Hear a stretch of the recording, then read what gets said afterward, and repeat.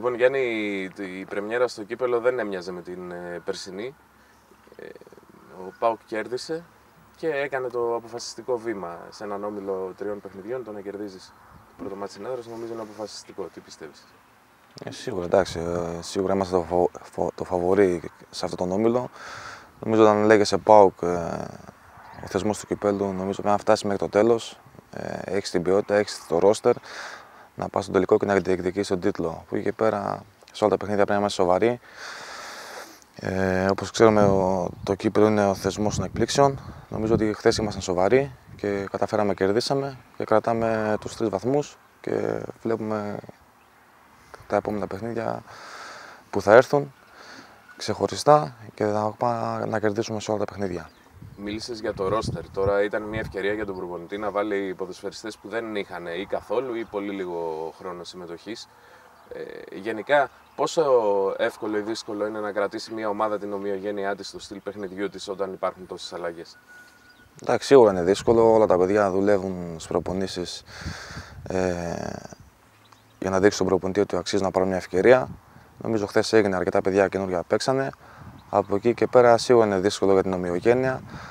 Αλλά όπως και να έχει, η ομάδα από την αρχής της χρονιάς δούλεψε σε θέματα τακτικής ε, πάρα πολύ και νομίζω όλοι οι παίχτε πάνω κάτω γνωρίζουν τι πρέπει να κάνουμε στο γήπεδο. Άσχετα αν δεν έχουν αγωνιστικό ρυθμό, νομίζω ότι μέσα στο παιχνίδι κάποια στοιχεία καλά όλοι οι παίχτε ε, θα τα βγάλουν και ατομικά και ομαδικά.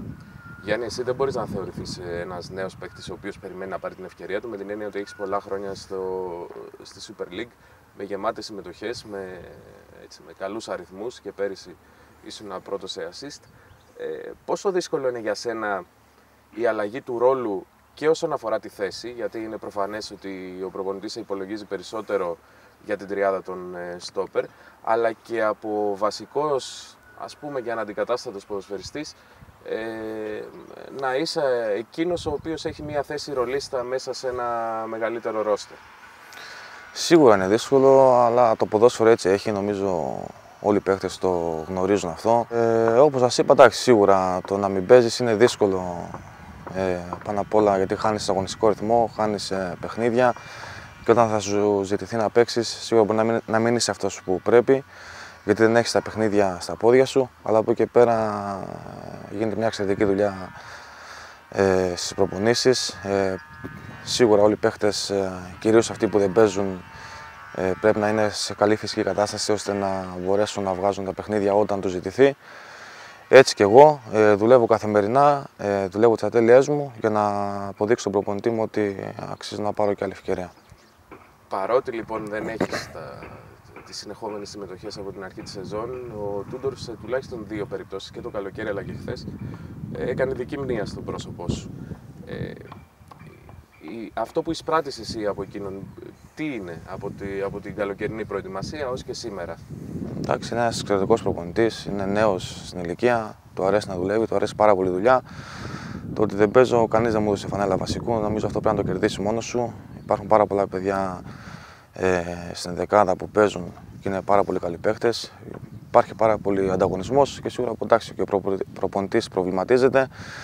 Ε, νομίζω ότι όλοι οι παίκτες που βρίσκονται εδώ πέρα θα πάρουν την ευκαιρία τους ε, και από εκεί και πέρα, όπως σας είπα, το ρόστερ είναι γεμάτο, υπάρχουν καλοί παίκτες και είναι δύσκολο να, να πάρεις, να πάρεις φανέλα βασικού και να είσαι αντικατάστασος. Νομίζω ότι σε κάθε παιχνίδι ο προπονητής ε, κρίνει και επιλέγει τους ε, καλύτερους 11 που πιστεύει. Είναι σεβαστό από όλους τους ποδοσφαιριστές.